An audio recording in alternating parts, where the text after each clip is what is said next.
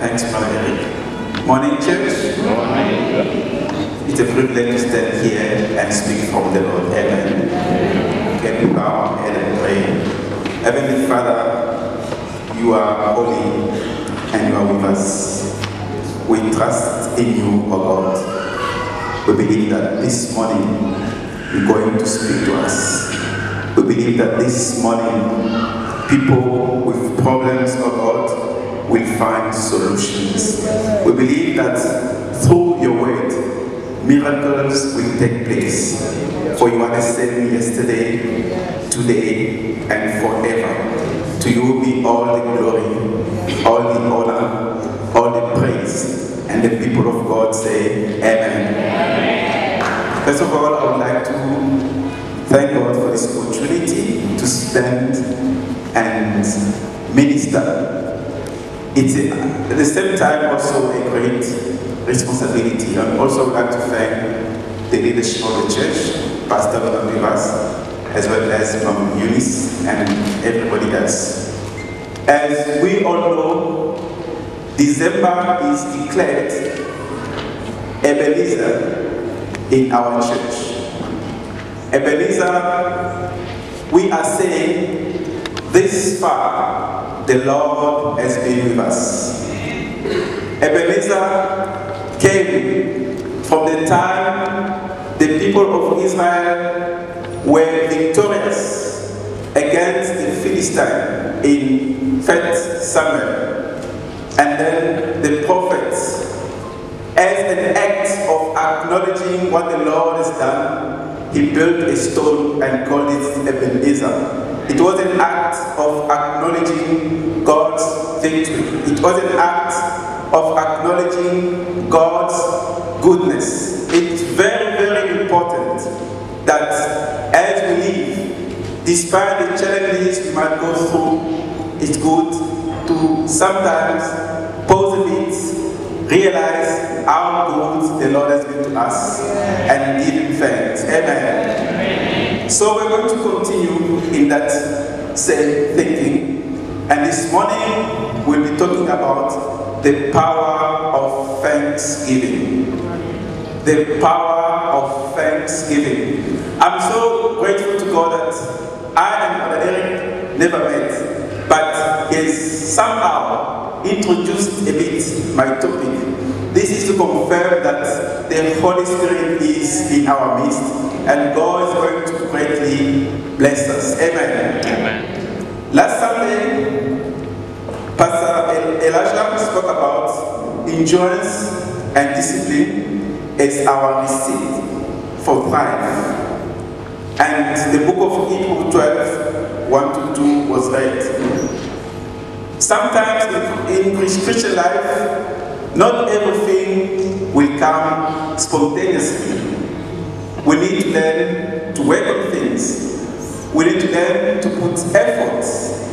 We need to learn to be disciplined so that God can meet us, so that we can experience more of God's goodness. And also in that Bible verse that was in Hebrew 1 to 2, it says that we should remove anything that can hinder us from seeing the fullness of God.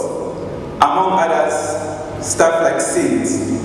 We should make efforts with the power of the Holy Spirit to get away with it, remain focused, be endurant, be disciplined, work hard so that we can bear fruit as Christians. Amen. Amen. So today we'll be focusing on giving thanks. Our text is found in Psalm 103 from verse 1 to 2 in the New King James Version. It reads,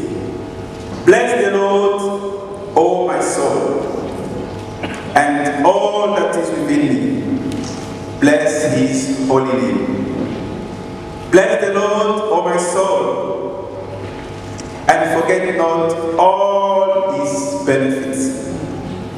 David is having a conversation with his soul. David, when you read his story, He went through ups and downs. He had moments of glory, had moments of what you can say darkness. But still, he is speaking to his soul to remember God's goodness. Bless the Lord, O my soul. Forget not all his benefits. This is December time whereby many people would sit back, look at what were the goals for the year, and see what they achieved. That can be done individually, that can be done as a corporate in a company. But while doing that, you will find that I figured realized that Sister Mamasun has got, has eh, just got a PhD. It's an achievement. We praise God for that. But when also you look, there will be other stuff that you wanted to do, but God did not allow it to happen. Still, we should remember to always give Him thanks. Because it's very, very important. Thanksgiving, in fact, is acknowledging God's mighty deeds and thanking Him for that. So when we say we're giving thanks to God, we're indeed acknowledging Him as the author of our lives, as the one who gives us even this breathing that we have. Sometimes, as we drive on roads that I've experienced twice this year, you are back and you see just accident happening and car being smashed away.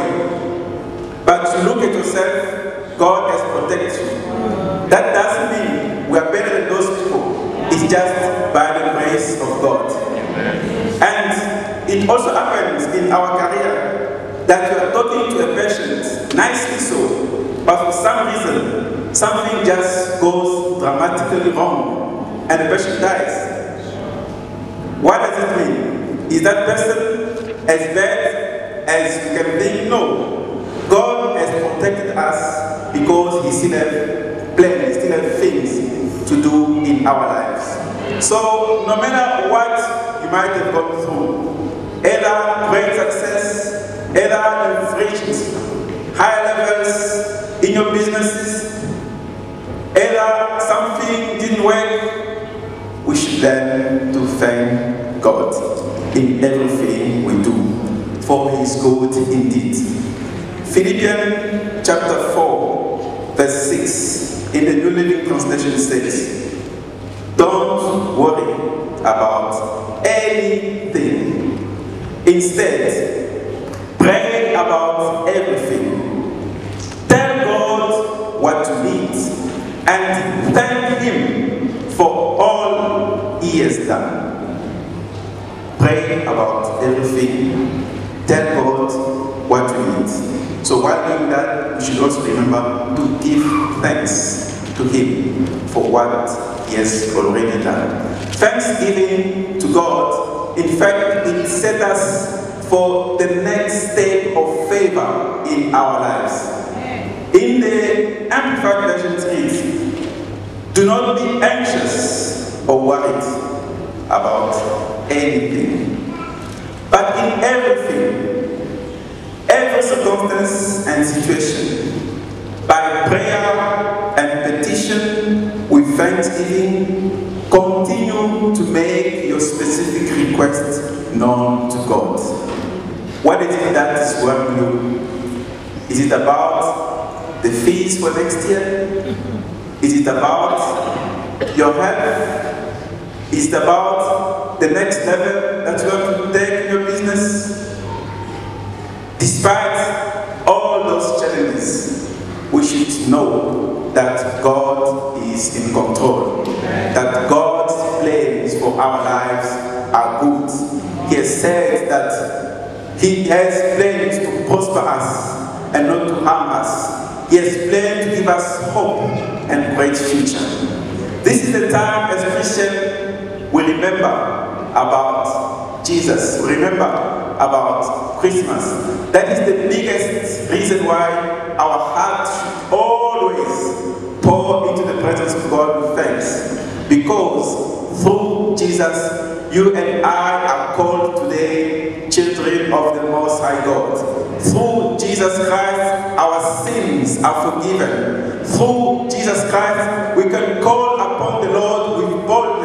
and having expectation that He's going to answer us. Jesus is the reason for the season. We should not be too much involved in the commercialization of this season. I'm not saying we should buy gifts for people, but what I'm trying to say is we should remember that this December time we remember Jesus because it's through him that we became children of God. It's through him that we can enjoy the protection of God everywhere we are, in everything we do. So I'm going to talk to you about the benefits of thanksgiving. As we praise God, as we give Him thanks, what are some of the benefits? It's not everything, but some of the benefits that you can enjoy by doing so. The first one is that thanksgiving gives us access to the God, to God's presence. Access to God's presence. There is nothing greater in life than a human being carrying God's presence wherever he is. That means God will always be on your side. The Word of God says, if God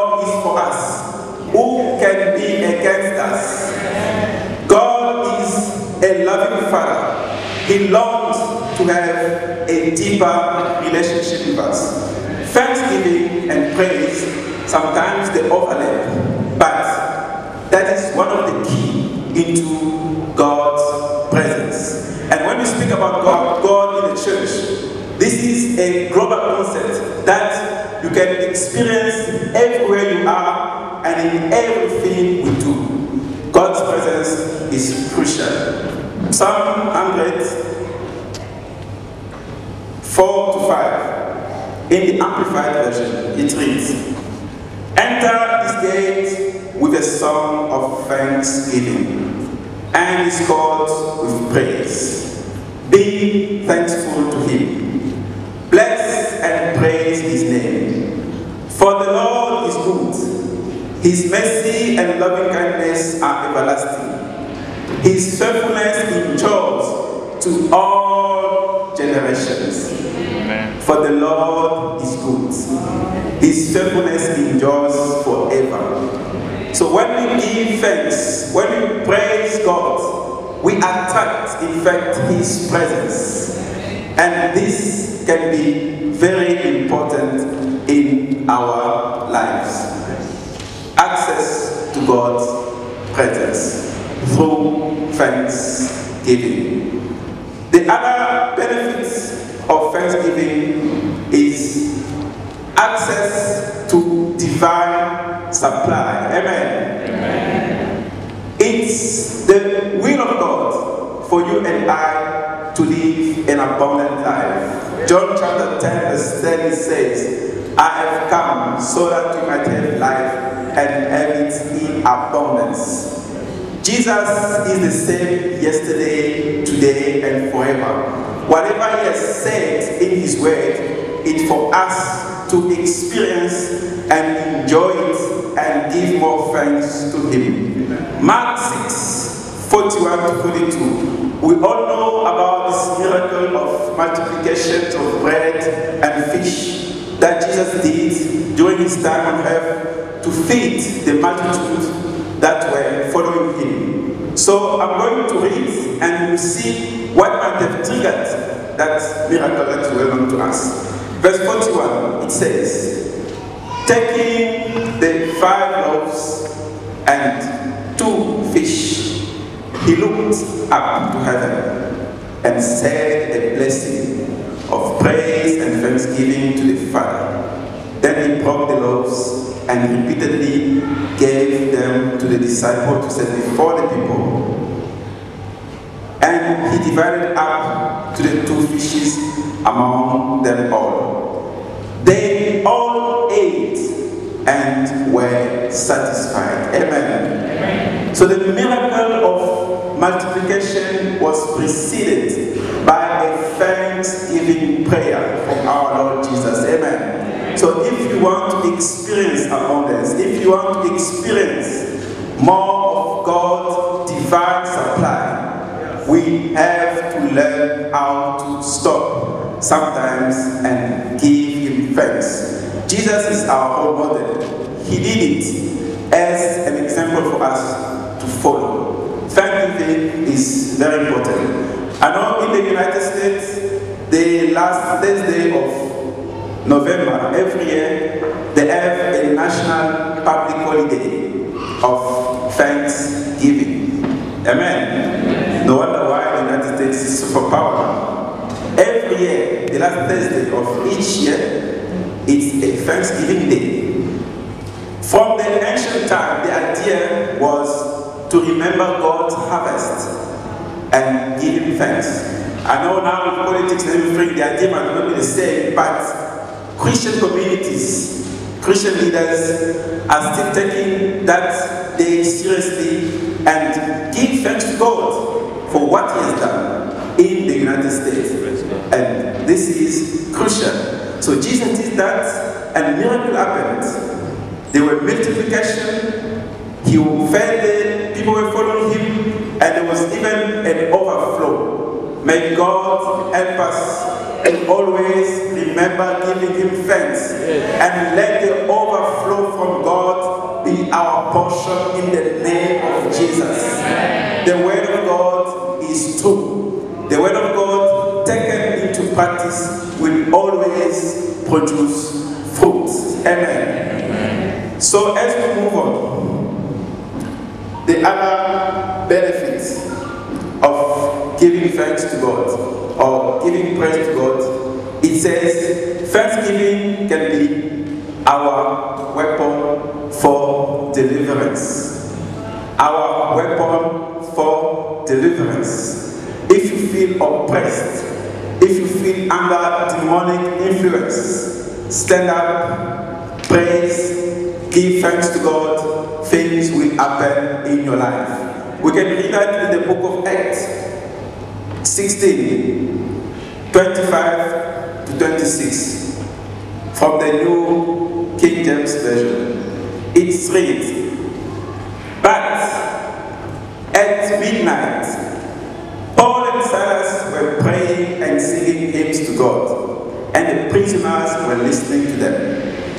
Suddenly, can someone say suddenly? Suddenly, Suddenly there was a great earthquake, so that the foundation of the prison was shaken. And immediately all the doors were opened, and everyone's chains were loosened. Amen. Suddenly a miracle happened through praise and thanksgiving. If you feel under demonic power, if you feel under demonic attack, wake up at night, stand up, sing hymns, praise God, deliverance will come.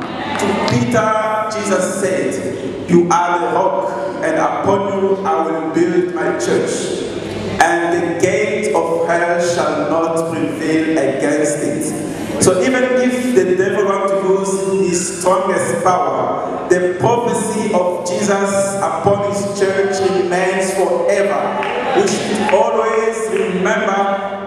to remind the devil that he cannot do anything against us because we belong to Jesus.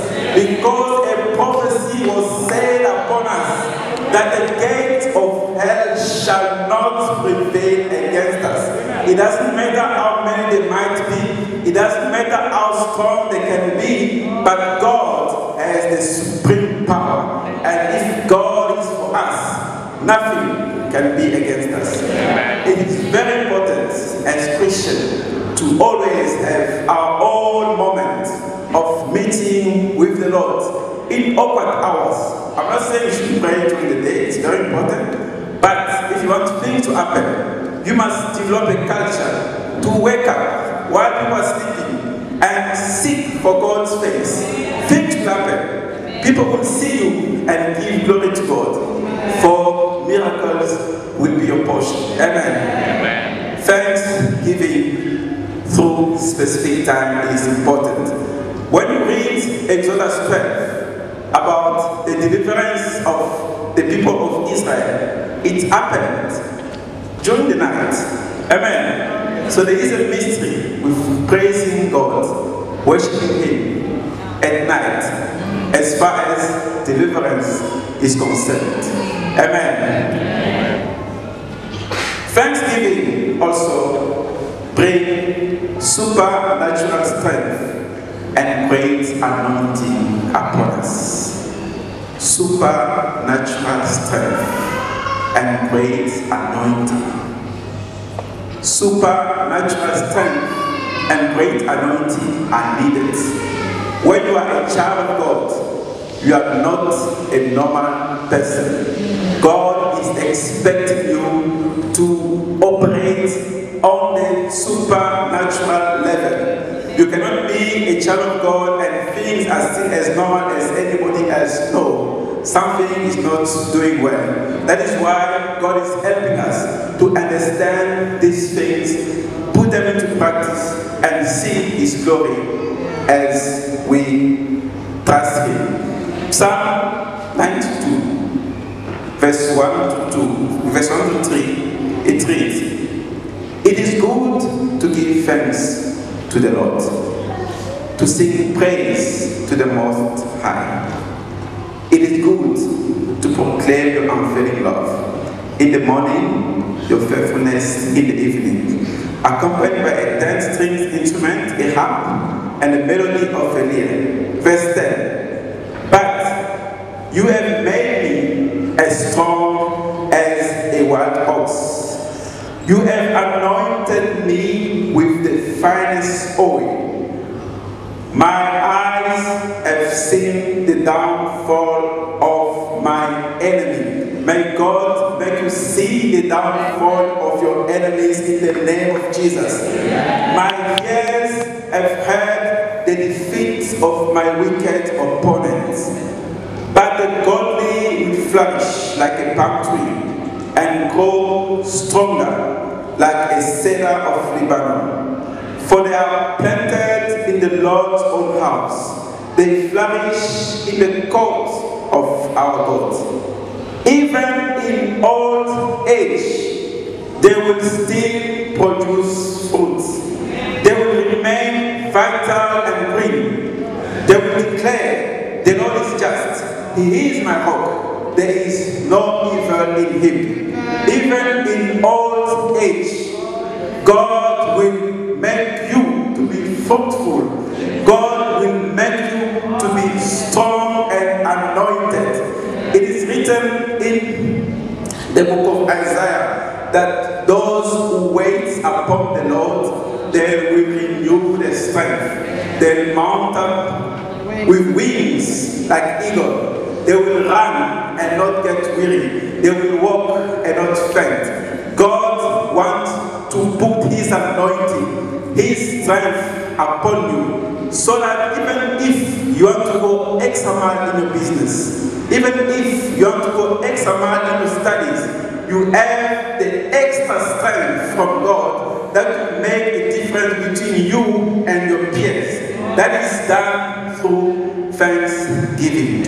And it is the very of God for us to experience more of His strength. More if you want to see your prayer being answered. Among other things that might have been preached, among other things that are in the Word of God, we should learn to pause and give thanks to God. Again, we saw this in the life of our Master, Jesus Christ, when he was told about the death of his beloved friend Lazarus. He took his own time to come and respond to the call. God is never early, God is never late, God is always on time. Praise the Lord of God. Amen. Jesus took him took his own time to come and respond to the call to rescue his best friend. John 11, 40 to 42, in the Amplified Version, it reads Jesus said to her, to Martha, Did I not say to you that if you believe in me, you will see the glory of God, the expression of his excellence? So they took away the stone, and Jesus raised his eye toward heaven and said, Father, I thank you. Jesus was very smart. He knew how to touch God's heart. Father, I thank you that you have heard me. I knew that you always hear me and listen to me. But I've said this because of the people standing around, so that they may believe that you have sent me and that you have made me your representative. Father, I thank you. Jesus started his prayer by thanking God. Jesus knew that as you do that, you are attracting God's power into your life. You are attracting God's intervention quicker through thanksgiving. So if he did it, it was an example for us to follow. And we all know what happened thereafter. Lazarus came back to life. Amen. So those things that you might have lost, those ideas that might have gone, through thanksgiving, may the Spirit of the Lord bring them back to you in the name of Jesus. May God resurrect everything in your life that you have lost so that you can keep on giving Him praise in the name of Jesus. Thanksgiving. Thanksgiving. Thanksgiving. Thanksgiving can be done through prayers. Thanksgiving can be done through a specific offering that you decide in your heart to do. But as long as it's done according to God's will, it pleases God and it can attract His intervention in your life. So, as I am about to conclude, may I call the worship team to come at the front. What is our take home message? Thanking God should be part of our daily living, no matter the circumstances or adversities we might face.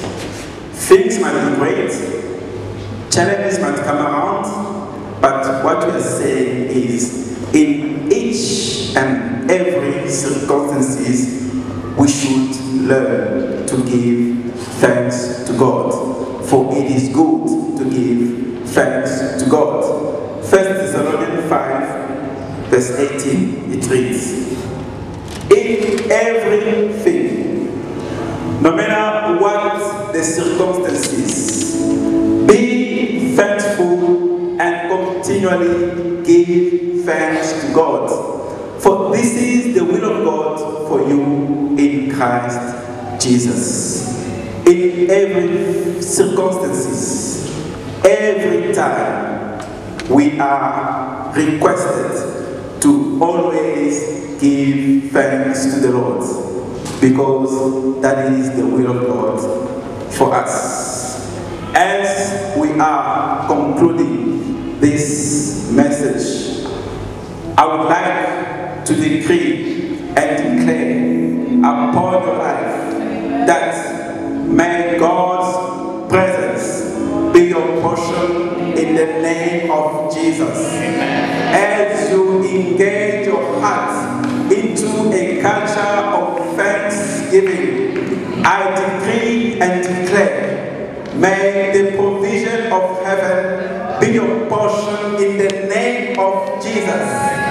As we develop a culture of acknowledging God's Almighty, may His presence, may His great anointing be yours every day and forever in the name of Jesus.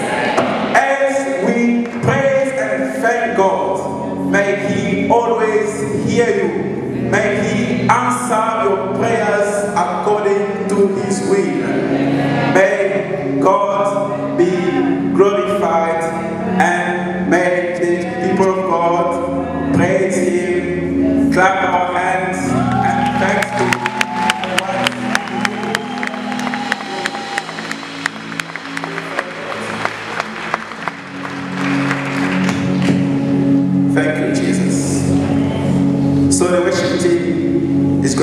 us into a moment of prayer as we respond to the word of God, and thereafter we'll continue.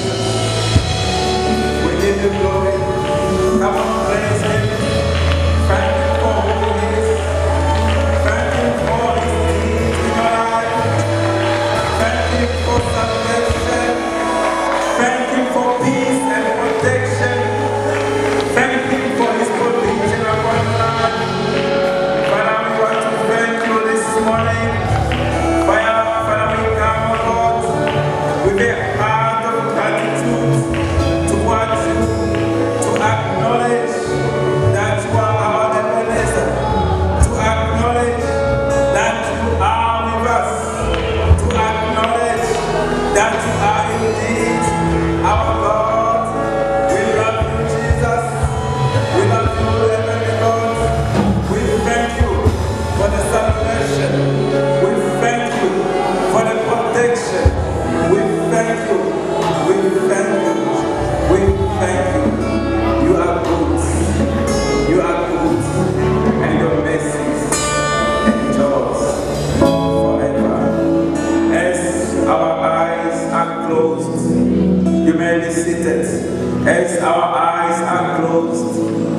You are here, you have never taken officially a decision to give your life to Jesus.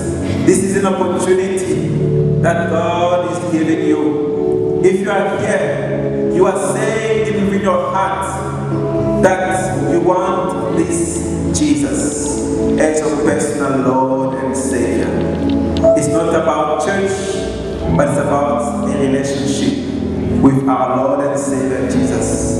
If you want to give your life to Jesus and you know from deep within you that you've never done it before, or if you want to renew your commitment with our Lord Jesus, may you please raise your hand where you are. We just want to see and pray with you. We just want to encourage you. And this will be the biggest ever decision you might make into your life.